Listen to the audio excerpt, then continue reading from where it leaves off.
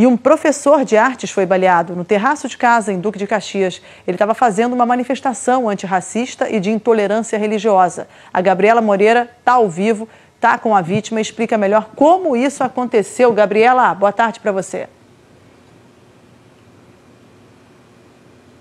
Boa tarde, Mariana. Boa tarde a todos. Pois é, Mariana, o professor Marco Aurélio Moraes, de 52 anos, estava no terraço da sua casa, no Engenho do Porto, em Duque de Caxias, fazendo essa manifestação que foi convocada pela internet.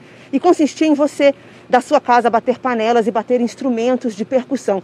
Ele fazia isso acompanhado apenas da sua prima, quando de repente ele percebeu que tinha sido ferido no braço direito. A gente tem um vídeo para mostrar dele no terraço que conta mais ou menos a dinâmica do ocorrido para o telespectador.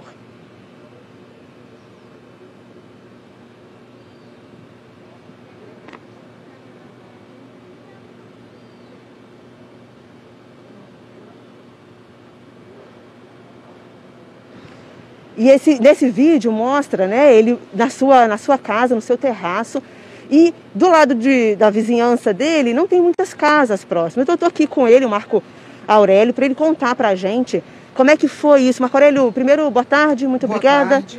Você estava na sua casa fazendo a manifestação, percebeu que tinha sido atingido e o que, que aconteceu depois? Você foi para o hospital, o que, que te disseram? Então, eu senti né, uma pancada no braço, vi que estava sangrando e aí fui para o hospital. Fui atendido no Hospital Moacir eh, do Carmo e uh, lá eh, examinado pelo médico e também um, um policial que avaliou disse que poderia ser um projétil de 22, calibre 22. Inicialmente acharam ser chumbinho, mas depois, pelo ferimento, que poderia ser um calibre 22. A gente viu pelas imagens ali, você até comentou que tem comunidades próximas, mas tem barreiras físicas que impediriam aí um tiro, de repente vindo acidentalmente. Sim. Você descarta de fato isso? Com certeza, porque da minha casa tem um, um morro né, e a comunidade mais próxima fica do outro lado, então existe realmente uma barreira física, geográfica que impossibilita essa é, o tiro vir de lá, né, que tenha vindo de lá este. O que, que, você acredita? Que foi acidental ou foi proposital para interromper a sua manifestação? Eu acredito que tenha sido proposital, porque é, foi muito certeiro. Né? Eu estava num alvo bem visível, eu estava num terraço num terceiro andar, quer dizer, bem exposto. E no meu bairro, a, a única manifestação que ocorreu foi a minha da minha prima. Não havia nenhum outro morador fazendo essa manifestação.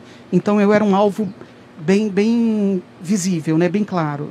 Tá bom, professor, muito obrigada. Agradeço a vocês. Ele vai agora, Mariana, é, fazer o registro da ocorrência aqui na 59DP, trouxe o raio-x, trouxe todos os documentos, para que sim seja feita uma investigação e tente encontrar o autor desse disparo. Mariana. Ele disse, Gabriela, que foi um tiro certeiro. Ainda bem que não foi certeiro, que só atingiu o braço dele, porque realmente fazer uma manifestação e levar um tiro dentro de casa, onde já se viu, manifestações são democráticas. Obrigada, Gabriela. E nos últimos